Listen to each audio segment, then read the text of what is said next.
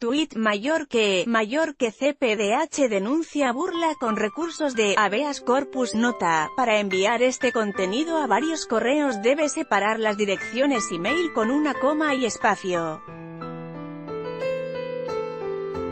Nuestro sistema permite un máximo de 5 destinatarios y un comentario de hasta 2,500 caracteres en el mensaje.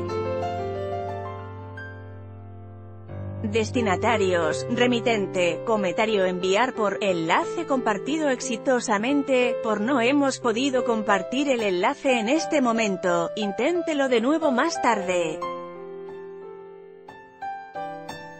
Mayor que, mayor que CPDH denuncia burla con recursos de habeas corpus José Félix Centeno está preso en la DAJ desde el pasado 15 de junio cuando tropas combinadas de la policía y parapoliciales realizaron la llamada Operación Limpieza en Ticuantepe.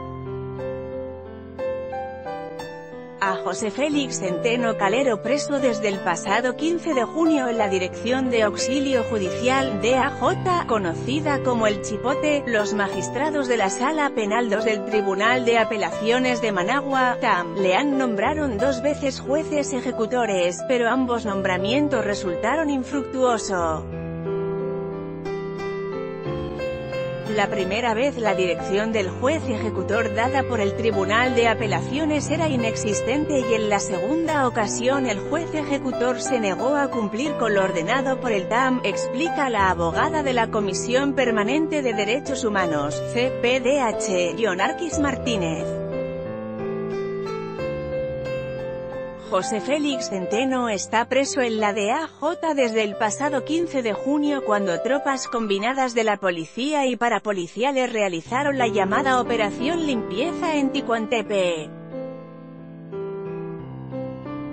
En esa misma fecha otros jóvenes fueron capturados en barrios orientales de la capital por haber participado en el levantamiento de barricadas o simplemente apoyar las marchas antigubernamentales.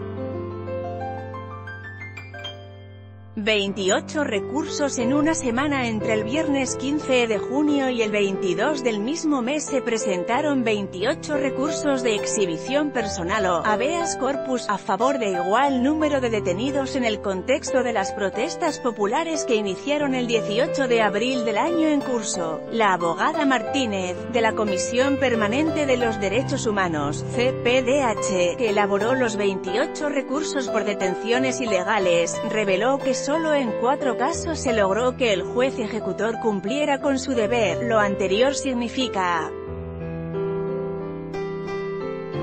que el abogado nombrado como juez ejecutor se presentó ante la autoridad policía a intimarlo, es decir, a constar si el reo estaba detenido legal o ilegalmente, aunque el juez ejecutor no fue recibido y tampoco se puso en libertad al reo en, el momento, después se logró la excarcelación, subrayó la abogada la activista de la CPDH, reconocen debilidad una fuente del Tribunal de Apelaciones de Managua consultada por el Nuevo Diario reconoció que algunos abogados se han negado a cumplir con su deber de juez ejecutor.